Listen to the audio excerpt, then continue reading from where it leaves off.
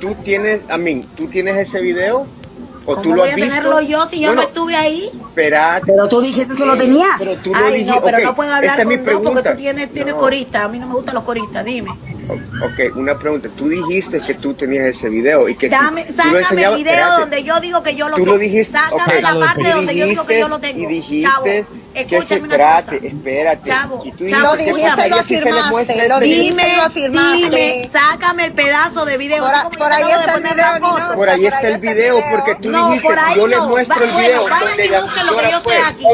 No, no, por nosotros no somos como. Pero Pero sin embargo, estoy segura que ya lo borraste porque sabes que te, sabes que te están liquidando, sabes que ya tienes una pata en la cárcel, sabes que con eso no se puede, porque tú lo que tú estás haciendo es difamación. Señora, y eso se yo paga con puedo- cárcel. Te Bueno, entonces aquí me dijo, Tony, ¿tú tienes video? Unos minutos más tarde. No, sí. Hay Sí, un así- video de ese muchacho hace madre. Se acabó. Basta ya la hipocresía. Hay un video de ese muchacho hace madre. Se acabó. No, No, no, ni Oye, sí lo está, sí lo está. Conmigo no, con fiscalía que lo tiene preso. Basta Ni ya, basta ya. No, ni Nosca nada. Conmigo no, que no soy yo la que lo estoy llevando. No, señora. Basta se- ya. Ashley tenía derecho de vivir con su madre. Y entonces, ¿había video o no hay video? Bueno, yo me imagino, yo me imagino. Mira, te doy un consejo. Tú nos pasas el videito ese. Nosotros lo ponemos aquí. Lo vemos. Pero no me lo editen el videito como es. Dejamos verlo primero y después se lo mandamos a esa gente. para allá. Porque estamos deseosos de ver. Estamos ansiosos. Es como que de ver ese video. Pero te voy a poner ahora.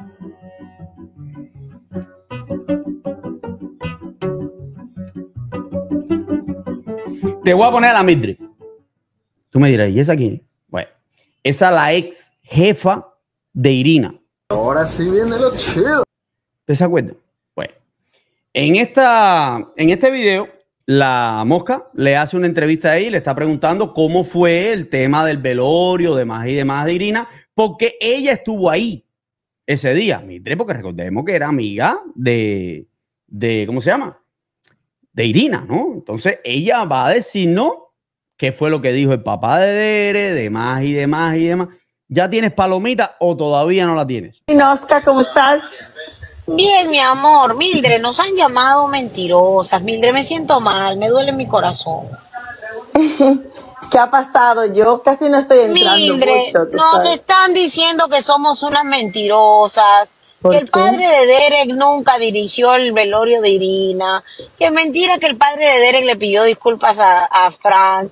Nos están diciendo mentirosas, Mildred, a mí eso no me cuadra. Bueno, No sé por yo lo que dije es cierto.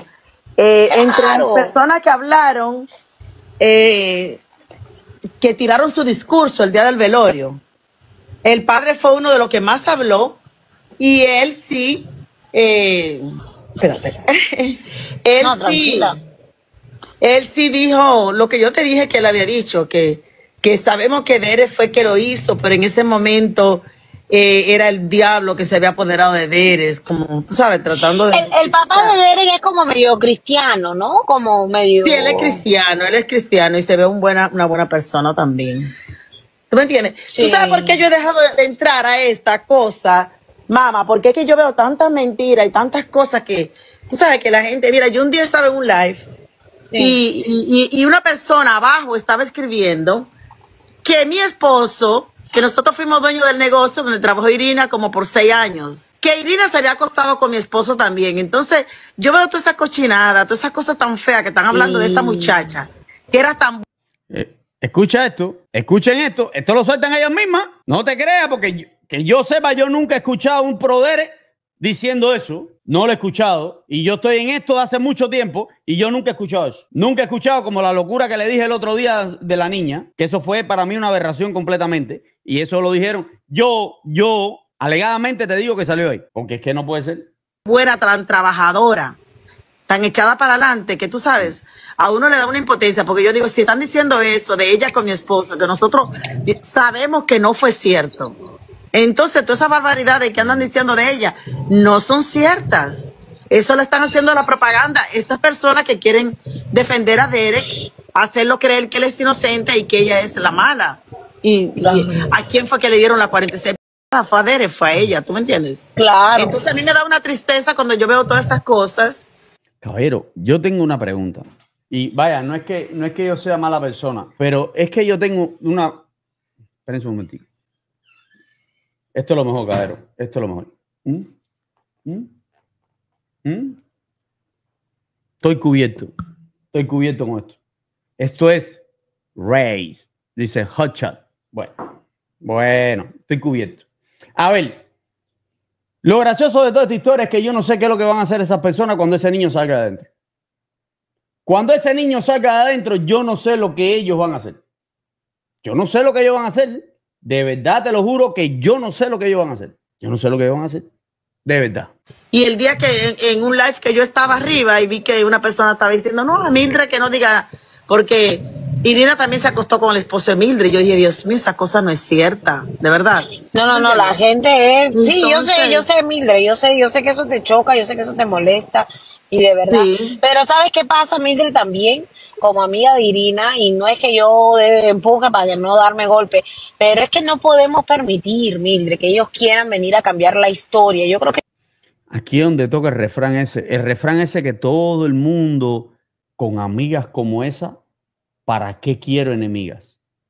Ese refrán, mira, cae ahí de película. si nosotros como, como eh, representantes de esta manera de Irina ahora, ¿no? O sea, voz de Irina, porque ella no está aquí para defenderse, yo creo que no podemos descansar. Yo entiendo que la- las redes sociales son pesadas y que no todo el mundo va a aguantar un trajín como el que lo he aguantado yo, como el que ha aguantado Jaina, como el que ha aguantado mucha gente aquí en las redes sociales, Miriel, etcétera, etcétera, y todas las muchachas por ahí para allá. ¿Me entiendes? Pero yo pienso que si nosotros nos quedamos callados, ahora que ese grupo ya está debilitado y está rompiéndose, porque las mentiras no llegan a ningún sitio. Así las es. mentiras, las mentiras no duran. Las mentiras sabrosean, pero no duran. Entonces, no podemos quedarnos callados en el sentido de dejarlos a ellos que con sus mentiras opaquen la- lo, lo que lo que en vida fue Irina. O sea, me parece, tú sabes, yo, yo, desde quisiera el inicio, que tú lo sabes, Ninoska, que desde el inicio todo lo que yo he dicho ha sido verdad. Incluso cuando Fran habló, aquella vez habló de, de, de la, de la operación de hemorroide de Irina, que ya yo le había dicho. ¿Tú me entiendes? Y Sí, sí, sí. Yo, yo, yo- esa foto que han- andan circulando por ahí, casi toda ha sido yo que la, que la he entregado de Irina, tú sabes. Y de Irina con nosotros trabajando y todas las cosas. Entonces, yo siempre he hablado con la verdad. Entonces, Mira de todas esas mujeres, mira la foto, te voy a poner la foto más grande, espérate un momentico, déjame poner Pertobimo para acá porque ya, ya lo usaron ya, ya, es decir, tampoco esto se lo pueden tomar como refresco, estos son dos, dos cucharaditas nada más día, si te lo tomas como refre- refresco no te vas a poder levantar del baño, So, eso es, tampoco no puede ser como ustedes quieren. me molesta cuando yo veo a la persona, no, que No, Mildred y- es una mentirosa, que di que yo Y seguramente créeme me que, acosté con y créeme que habemos, créeme que habemos un grupo grande que estamos contigo y que te creemos y, y que, y que lamentablemente no hemos podido hacer más por, por tratar de defenderte porque de verdad que el ataque ha sido, tú sabes, muy, muy fuerte. Pero si nos rendimos ahora, te digo, mientras nosotros podamos decir, y yo así quiero exhortar a la gente que estuvo en el velorio, porque no, ¿cuánta gente más o menos estuvo en el velorio? ¿Tú te acuerdas, Mildred, así por encima del... Esto del empieza top ahora. Down? habían bastante, más de 40. Tienen que haber sido como 50, no, no, tú sabes, yo creo que habían más de 40. Porque estaban todos los bancos llenos cuando estábamos, cuando entramos para adentro, que empezaron a, hablar y a decir cosas, ¿tú me entiendes? Ujú. Eh, yo pienso que habíamos como 50, porque estaban todos los bancos llenos y eso. Incluso había personas sen- sentadas afuera también. El afán, el afán de, de- del padre de Derek hablar sobre este tema nunca fue calmarles el morbo a nadie, simplemente parece que fue como una manera de, de- de expresar sus sentimientos en ese Sí, momento. porque como él es religioso, él es religioso, tú sabes, eh, él estaba como tratando de hacerle ver a la gente que, que el demonio se le montó a Derek, ¿tú me entiendes? Déjame hacer una pregunta, porque esta es otra conversación alegadamente. Voy a hacer una cancioncita que diga alegadamente, para no pasar tanto trabajo. La voy a hacer para el día de mañana. Voy a hacer una cancioncita. No hay nada más lindo que volver a recordar. No, qué rico es sentarse así. Pa. Te voy a decir algo que tú puedes recordar. Tú te imaginas tú sentarte así pa, y ponerte a recordar tu pasado, cuando estabas corriendo, estabas aquí. Eso es lo, eso es lo más rico del mundo, mamá. Recordar. Recordar. Escucha esto.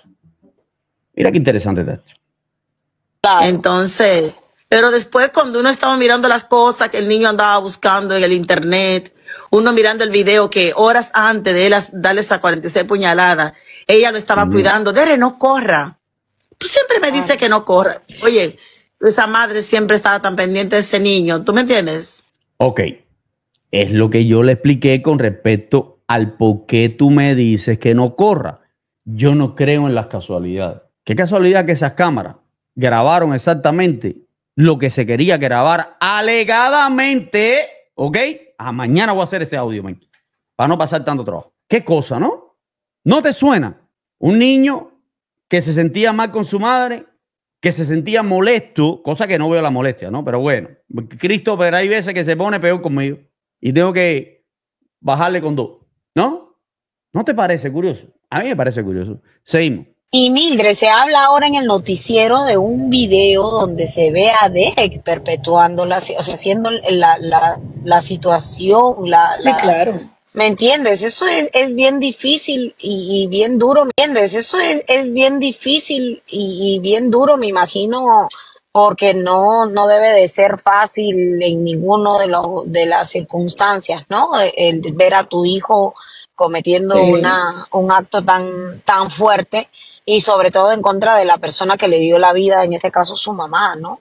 Sí. Eh, eh, eh, Mildred, una preguntita, porque nos enteramos por la corte de que están pidiendo la declaración del padre. Tú por casualidad sabes o, o conoces de que Derek haya tenido la oportunidad de llamar a su papá después de lo que hizo o antes, durante lo que, bueno, no antes, pero de, después de lo que hizo se comentó algo, ¿tú te acuerdas de pronto?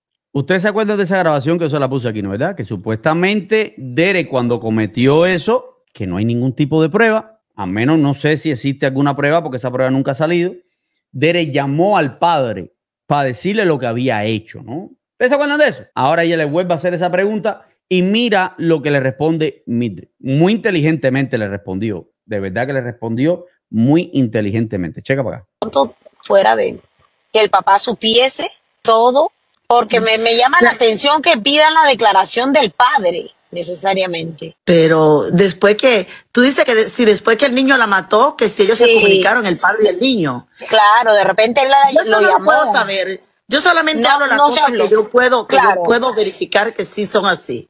Porque Claro. yo una cosa que yo, hay, hay veces que a mí me preguntan, ¿tú conoces a esta muchacha que dice que es amiga de Irina? Digo, yo no conocí todas las amigas de Irina. Sí las que Claro. trabajaron juntas con ella, cuando ella estuvo conmigo, ahí sí la conozco todas.